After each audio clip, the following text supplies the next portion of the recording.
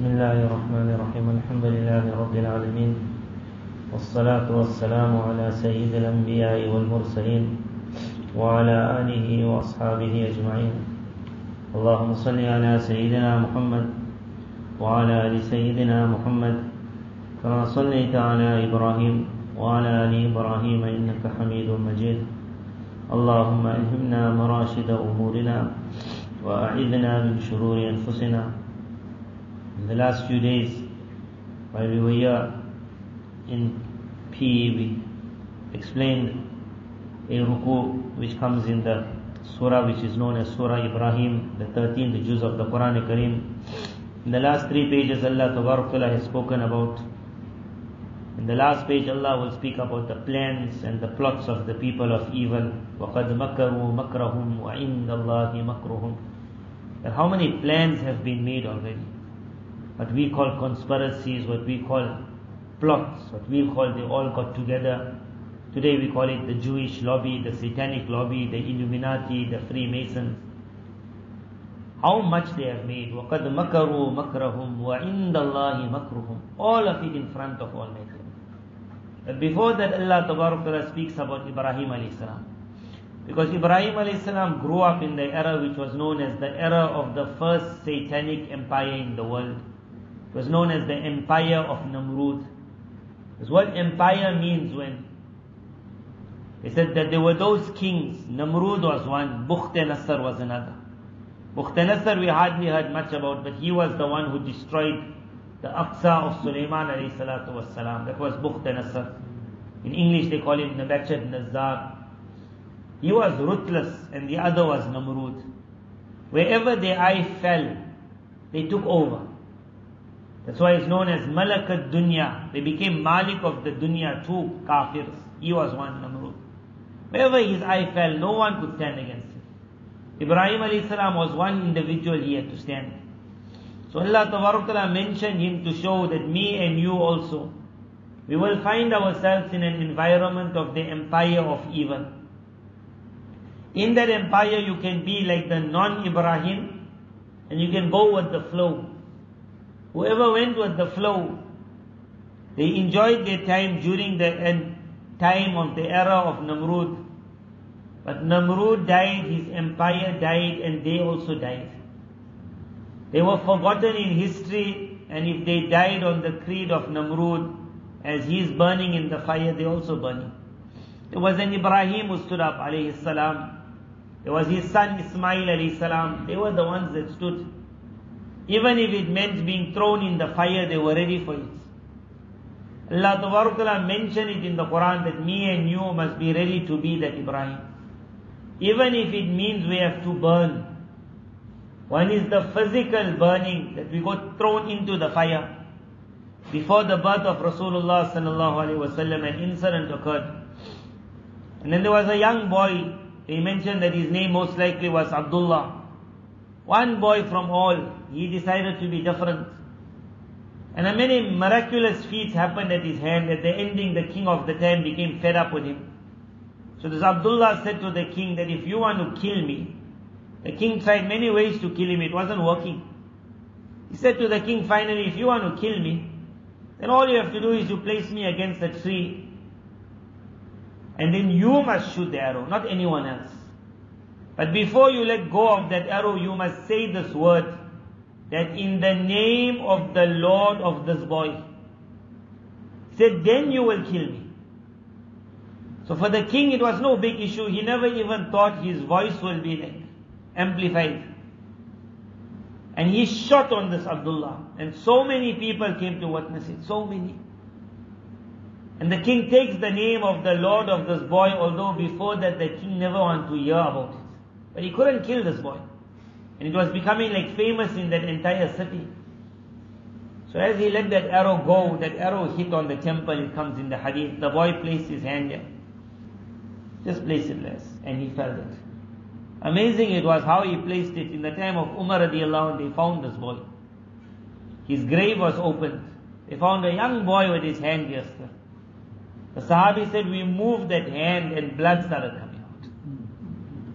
They wrote to Umar radiallahu anh, he said, it seems this is that boy that's mentioned which Nabi Sallallahu spoke about. We read about Wassama'i Dhatil Buruj. This had to do with this. So as that boy placed his hand here and the way he died, and the king had to say in the name of the Rabb of this boy. So everyone who was there, who were not the soldiers, all of them loudly started reading that we believe in the Rabb of this boy. So the soldier came to the king and he said, what you feared happening, that happened now. What you feared happening, that happened. Around the world today, when European countries try to stop Islam, and they make whatever conspiracy they make, plot they make, 911 was they made a plot. But they said after 911, they could not find Quran copies in the shops. The non-Muslims were buying Quran copies like anything, meaning the translation of the Noble Quran. Because 911, which was meant to now bring a lock against Islam everywhere in the world. But it also made people interested in what is this Muslim? Before that, if you stopped at a garage and you said, where's the masjid, the mosque, the man never knew about it. After 911, everyone knew what is the word Muslim. In France, when something happens, it happened now, it happened a few years ago. One of those people who were part of the promoting, they had made something called fitna at that time. It was a small clip which showed Islam in a very bad picture. Fitna. So one of those people who were part of like promoting it, he was part of the party. He became amazed at the reaction of the Muslim world around. So he said that when so much of like anger was shown towards this fitna, the small thing that they had made, it inspired him that for me to give answers now, I have to at least myself know about Islam. So he said, I started reading about Islam. And the more I read about the figure known as Muhammad sallallahu alaihi wasallam, the more I fell in love with him. Until the time came where he accepted Islam and he put it on on his WhatsApp or whatever it was, his Facebook, and he said when it went out, his own friends, they thought he was making another joke on Islam. Where will you ever accept Islam? He said it took a while to explain to them this is real, like I'm really accepting. But the more amazing one was he said I went for Umrah. And after Umrah I went to Medina Munawwara. And one intention of mine was just to go in front of the grave of Muhammad sallallahu alaihi wasallam. And I could say I am sorry for what I had done. So whatever the intention was to hold Islam down, Islam would always like, it would knock the very person who was holding him down, he would also fall into Islam. So at that time they said to the king, what you feared, that happened. Everyone is accepted. So now the king was beyond himself in rage. He said, in front of every street they must dig. This was called buruj.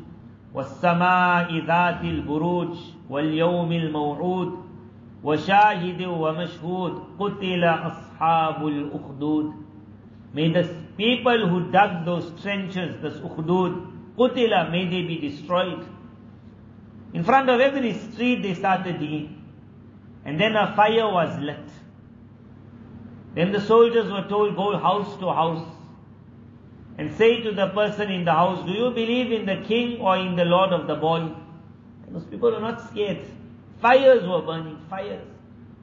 Nabi sallallahu alaihi wasallam mentioned people, families and families. They were saying, we believe in the lord of the boy. And then the law was pull them out of the house and move them to the fire. On the way they must say that, no, no, we believe in the king. No one was. They were just walking into the fire. Nabi Sallallahu said it was only one woman. Because she had a child who was suckling. She came right to the fire and she stopped. Only one woman. And then miraculously the child stopped suckling and he looked at the mother and he said, Oh my mother, you are on the truth. Do not be scared. And the child, the mother and the child. Nabi Sallallahu said, everyone saw them going into the fire, they were going straight into paradise. Straight into paradise. Ibrahim alayhi salam was ready to fall in the fire. That family, that whole town went into the fire. Me and you are of a unique ummah. This happened very shortly before the birth of Rasulullah sallallahu alaihi wasallam. We became part of that ummah that Ibrahim alayhi salam is our forefather. If we have to burn for Islam, for Allah, be ready to burn. One is a physical burn, and it's happening in around the world when those bombs drop. It creates such a fire that wipes away houses and houses. If we have to burn, be ready to burn. And one is what is called a metaphorical fire, which is even harder. Hazrat Shah Hakim Muhammad Akhtar Sahib Rahimullah would speak a lot about this fire. He said it's that desire to look at something which you know is not right.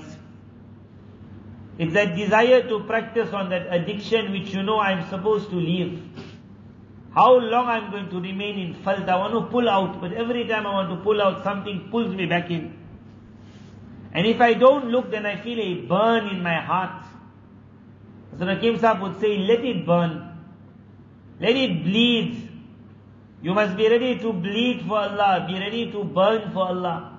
But the time has to come that every individual has to say, I am in the ending the slave of Allah. And an honorable and noble slave will say, even if I have to die for my master, it will be a noble death. But I cannot remain unfaithful till the ending. I cannot remain unfaithful.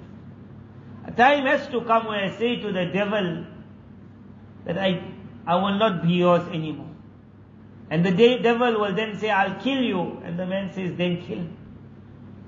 If I have to die for my Allah also, let me die. If I have to be thrown into the fire, let me be thrown.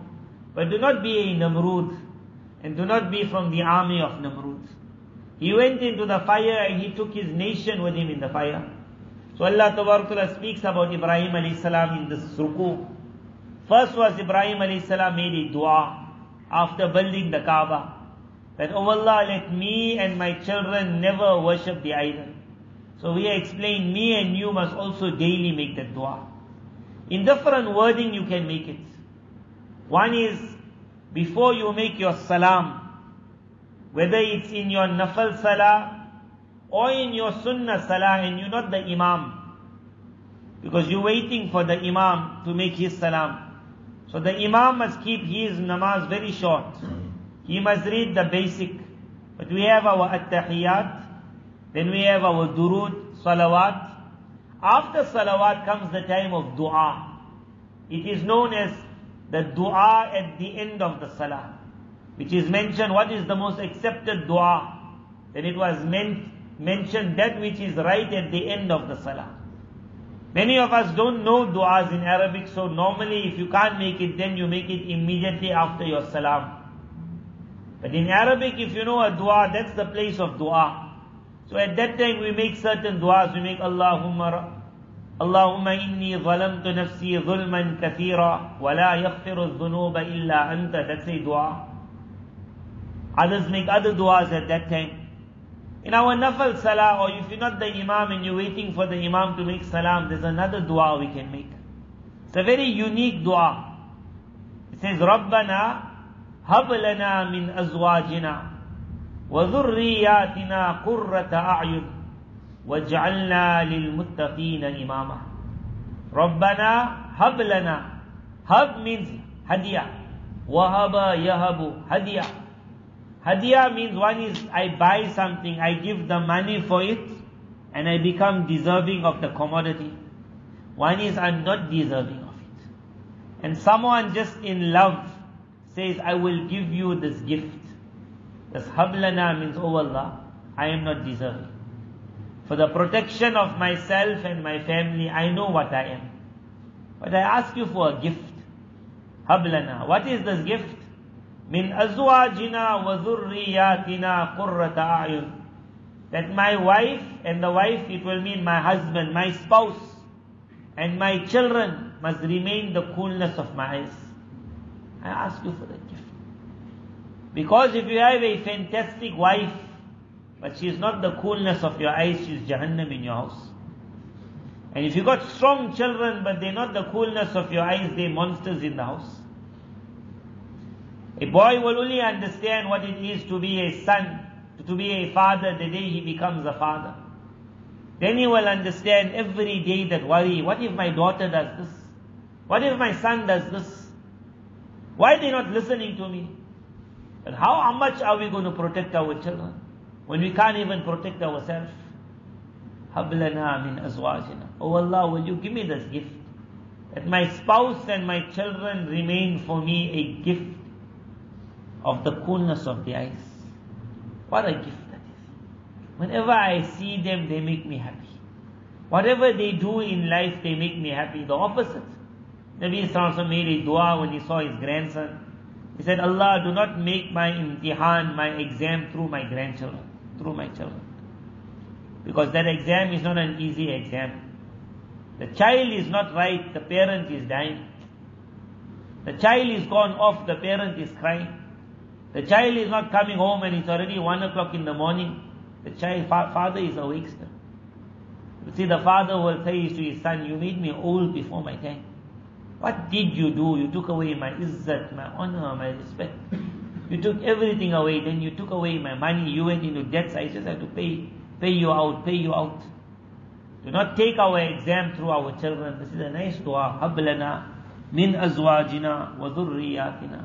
So Ibrahim alayhi salam first made one dua, let us not worship idols. Ibrahim alayhi salam then gave the second advice. He said, Oh Allah, inni askantu min dhurriyati biwadin ghayri dhi zar'in. Ibrahim alayhi salam left his child Ismail alayhi salam in Makkah Mukarram. In Makkah Mukarramah there was no grass, there was no vegetation, there was no fruits. It was desert. And to ever think someone will come to this desert, Makkah Mukarramah is a miracle today. It brought the fruits of the world to it. It has no fruits. The markets of the world came to it. It got no nothing it got. At that time when he stopped there, there was no water also. Zamzam came after. What a dua he made. He said, Oh Allah, I put my children, my child and my progeny in the Baytik al-Muharram. I put them by your house. And my intention was, لِيُقِيمُ الصَّلَاةِ So that they can become those that establish the prayer. فَجْعَلْ أَفْئِدَةً مِّنَ النَّاسِ تَهْوِي إِلَيْهِمْ Allah, you make it such that other people now will be inclined towards them. وَارْزُقْهُمْ مِنَ الثَّمَرَاتِ Business, fruits, monetary gain, let it all come towards them. لَعَلَّهُمْ يَشْكُرُونَ Because man's nature is we always worry of our children. So very quickly in a practical translation, this world is going to change in the next few years. It will change in a manner like how we always see that one group who are the poorer, but not the poorest. They find the richer moving out of their rich area. So this group B will now go into group A's place. And then group C will grow into group B's place. This is how the world works. Everyone wants to move to a better land, better pasture. So me and you, once upon a time we had apartheid, so the Muslims were already in one area. Non-Muslims were in another area. It wasn't the best that it taught us, it never taught us how to mix with the world, which is a very bad thing. A Muslim must know how to mix with anyone. If you can mix with anyone, you can give dawah to anyone. Because we never learned how to mix, we always got our gaps there. But the benefit that it gave us was it kept the Muslims around the masjid. Ibrahim alayhi salam said, I kept my children, O Allah, by your masjid, you bring the world for them. When this world is going to open up, you're going to get cities, new cities, brand new cities, places of luxury. And every Muslim, especially if Allah gives him the means, he will see those adverts. Why don't you move into this complex? Why don't you move into that new area? The air is much more cleaner. There's no crime. That's what we're all running away from. No crime. So there's nothing wrong with moving. But if you're moving, remember this dua of Ibrahim alayhi salam. That he said, Oh Allah, I put them by your house. You bring the world to them. For the safety of our progeny and for our own safety wherever we move in the world. Remember our protection is the masjid.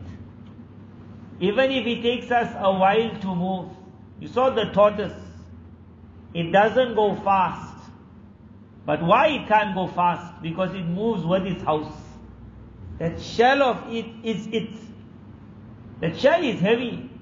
But the tortoise knows that without the shell I can move fast, but I got no protection. I'd rather make my small step, small step, small step, and whenever I fear something, the tortoise just stops. And the house of the tortoise becomes its protection. It's just stuck on the ground. Even a wild animal will come and try and move it. Me and you, wherever we go, go with the masjid. You don't have to go with the two million masjid. You can go with the 200 rand masjid also. A masjid is an area which is made waqf for Allah. I saw in one country small masjids, small masjids. That masjid got no top also. You got a few wuzuhana taps and they have a place, it's open. If it becomes very hot, they just put the awning on top and you got some shade from the sun. There's no walls for that masjid. They just put a little cement. When I stood there, I said, this is the cheapest masjid I have ever seen so far. But that's a masjid. It just had three, four poles, what we call our garage for our car. And when it gets very hot, just pull it. That was a masjid. Because that name came in mind, in your mind, or that picture, masjid means expensive. Masjid means a lovely wudu khana. So it takes us very long to ever think about, can I put a masjid? But when this world now and our South African world is going to start moving, everyone is not going to have the chance nowadays that let's live around the masjid because people want to go. So if you got 10 families, let 10 families move with the masjid. You'll then have again like how it was in the past, a jami' masjid. That on the day of Jummah, people will from all the areas will not go to their small masjids, they'll come to the big masjid. But during the week, a masjid must be so close to the house that the small child who can't drive, he will walk to the masjid. Now me and you might say, what's the difference between a musalla and a masjid? I got a musalla in my backyard. Isn't it the same? One is to read salah without the jamaat and without adhan. That was never allowed. For males, they must go back to a place where the adhan is taking place. So there you don't need a masjid as long as you got the adhan and you got a jamaat. But what is a masjid? A masjid is a protective house. Special tajalli, special power, special beauty of Allah falls in a masjid. A masjid is that place before you enter, you say, Allahumma ftah lana abwaab rahmatik. The doors of your mercy, Allah open it up for us. You cannot make that dua if there's no masjid. A masjid is that place where you have angels, that they become friends with the people of the masjid. A masjid is the place where Nabi Sallallahu said, when a man enters the masjid, he has entered the house of Allah. Allah is the host and He is the guest. And then He said, it is the right of the guest that the host must see to his needs. Listen to this word. It is the right of the guest that the host must see to his needs. Now when you are the guest, five times a day you become the guest of Allah, you are now in that protection. That individual who enters the masjid, from the masjid when he goes home, he takes the masjid with him home. Nabi sallallahu alaihi said, leave some salah for your house. So that what you got in the masjid, you took it back. But even if you don't perform salah in your house, what comes in the masjid, a man goes to the Kaaba, he has gone for Umrah, Hajj. The rest who never went at all, as soon as he comes, go and meet him. Whatever he got in him by meeting him, you will get that. The man who comes to the masjid, he takes from the masjid back home. He takes from the masjid back to his shop. Our protection of Iman is the masjid. You leave the masjid, you have left that environment of security. We now become the tortoise which moves very fast in the world. But when the attack will be launched, our child will not be able to say no like how we said no. The reason is there was no masjid. A masjid must be that boy, one of the groups that will be under the arsh of Almighty Allah. وَرَجُلٌ قَلْبُهُ مُعَلَّقٌ بِالْمَسْجِدِ A man whose heart was attached to the masjid. If we far from the masjid, your heart can't be attached. Nabi Sallallahu taught the world what attachment meant. As soon as he reached Medina Munawwara, the first thing that he did was he stayed in the house of Abu Ayyub Ansari radiallahu anh, and he never said, build for me a house. First thing he said, build my masjid. And he himself took part in the masjid. Sahaba radiallahu anh said he taught the world attachment to the masjid.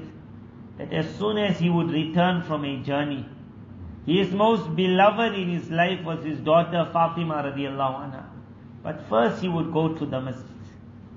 He would perform two rakats in the masjid because that was his life before everything else. After spending some time in the masjid to say, Oh my beloved house, I came back. Then he would leave the masjid and go to visit Fatima radiallahu anha. And then one wife after the other wife. That amal that he did, me and you don't do it, but that's also a sunnah. On returning, the first place he would go was to the masjid. That was the highest level of the heart being connected with the masjid. Me and you, our connection with the masjid is very weak, but that little we got, enjoy that little also. Don't let it be that our children lose that connection also. We saw those countries where the masjid is very far. Because it's very far, the children don't want to go masjid. They lost that connection. And when the cut takes place, then that iman which was just on that, it also gets cut. As long as there's a masjid, Ibrahim salam said, Allah, I put them by your house. And as for the world, oh Allah, you bring it to them. Me and you, wherever we will go out in the world, make this intention. First thing I will do is, before my house is the masjid. Before my house is the masjid. If someone says, how can you build a big masjid? You know, I build a small masjid. That small masjid will be your waqf. It will be your treasure.